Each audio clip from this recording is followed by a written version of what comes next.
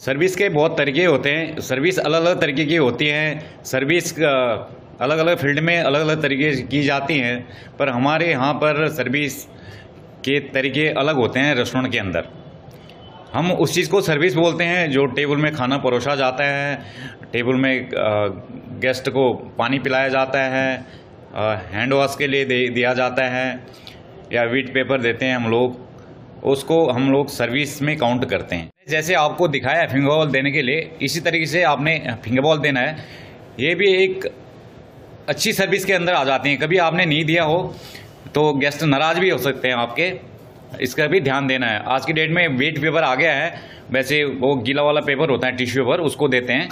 But old fashion में ये है, चल रहा है। फिंगर बॉल ये इसमें ऐसे नींबू रखा जाता है इसमें जो भी हाथ में आपके स्टेन लगे हैं, तेल के, खाने की स्मेल आती हैं, उसको क्लीन करने के लिए, साफ़ करने के लिए फिंगर बॉल दिया जाता है। फिंगर बॉल के अंदर ऐसे नींबू होता है, इसके अंदर गर्म गर्म पानी रहता है वॉम वाटर तो ऐसे हम लोग इसको फिर इसे, ऐसे हाथ में मसलते हुए अपना तेल का स्टेन निकाल सकते हैं। अब इसको कैसे पकड़ना है?